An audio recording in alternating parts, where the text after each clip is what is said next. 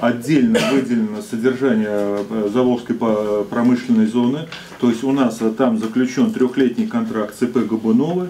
И в целях обеспечения оперативного контроля за состоянием до- дорог промышленной зоны, то есть у нас заключен договор э, на по контролю за работами по содержанию. Это у нас там кураторы э, корпорации развитель непосредственно на месте контролируют состояние дорог и контролируют работу вот этого предприятия.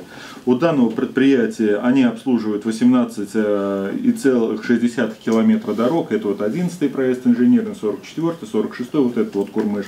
У них имеет следующая техника. Автогрейдер, погрузчик, э, КДМ на базе КАМАЗа, снегоочиститель роторный, э, трактора. То есть они вот этой техникой обслуживают вот эти 18 километров.